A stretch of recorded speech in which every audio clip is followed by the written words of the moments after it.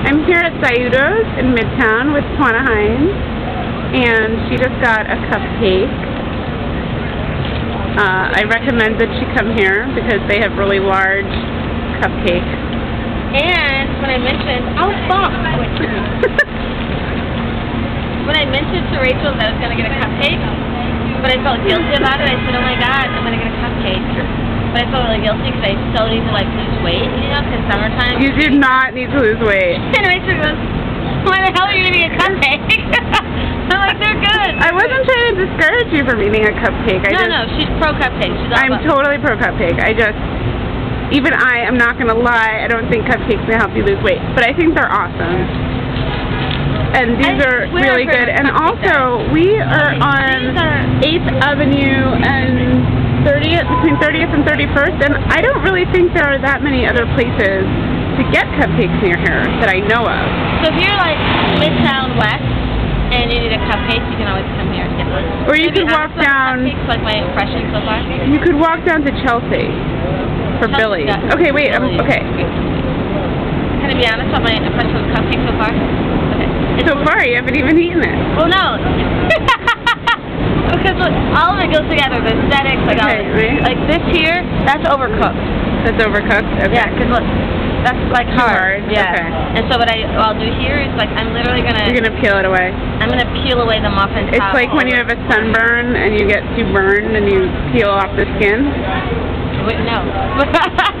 Okay. But, I'll try a cupcake then. I'll take your word for it on that one. And um, all right. Yeah. Okay.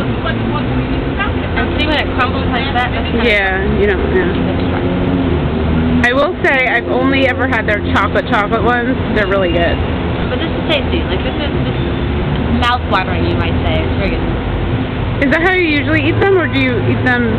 I'm curious. When they're this big, what I usually do, everybody's on cupcake eating techniques when they're this big, like big enough that I can't put my whole like mouth on it. Wait, try to do that. when it's too big to put my whole mouth on it, what I do is I break away about half.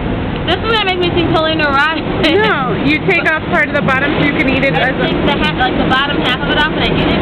So then I can chomp. Like I can't get my mouth on the whole cupcake, but I can get my mouth on half of the cupcake. And so what I'll do is I'll like take off part of the bottom, sample it, and then when I'm ready to chomp, I can just chomp on top. That totally makes sense. So then you can like have a whole like full in the mouth kind of thing. Right. That totally makes sense. sense. So. Mm. Okay. They're good because they include a napkin. Nothing more annoying than going someplace with cupcakes and they don't clean it. What? that was just me trying to be subtle and ask you. Good. Good. yeah. like it. You I like like it? cupcakes. Good. If I had to give it a grade, as far as moistness, I'd give it like a C minus, C plus, you know? Mhm. Um, frosting probably A minus, solid B plus, like good frosting. Sprinkles, but they didn't go overboard with it. It's buttercream frosting, but without being too like slimy, too slick.